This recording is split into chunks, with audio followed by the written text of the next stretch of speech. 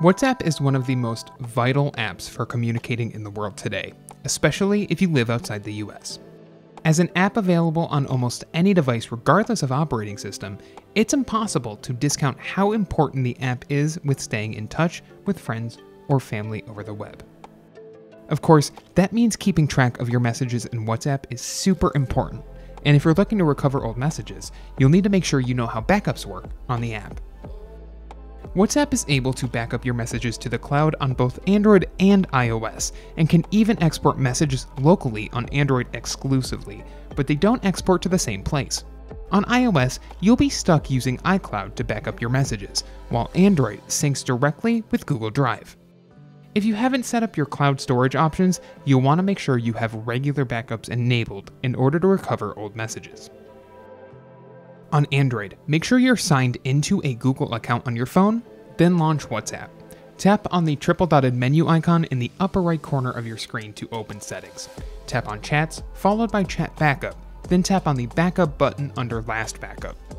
Under the Google Drive settings menu, you can set how often you want WhatsApp to automatically back up your data.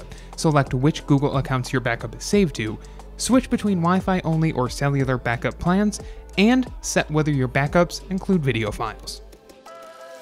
You can also export specific chat threads from your phone by opening the thread, tapping on the triple dotted menu icon, selecting More, then selecting Export Chat. That thread will be emailed to your inbox. The steps for setting up a backup are similar on iOS, but with iCloud instead of Drive. Just select the Settings tab from the bottom of your phone's display, then select Chat from the list of options. Under the Chat Backup feature, select Backup Now to start a backup, then turn on Auto Backup at the bottom of the menu, available in either daily, weekly, or monthly installments. Just like on Android, don't forget to toggle video backup on or off as you see fit. To recover messages from a backup, you'll need to delete and reinstall the app on your phone to trigger the setup process. WhatsApp will automatically search either your Google Drive or your iCloud account to look for your chat history stored in the cloud when you first install the app. If you have a backup found, WhatsApp will allow you to proceed with the restoration process, though only at first boot. If you decline to restore your messages, you won't be able to do so later on without another fresh install. If you liked this guide, make sure you subscribe for all sorts of videos covering WhatsApp and other technology.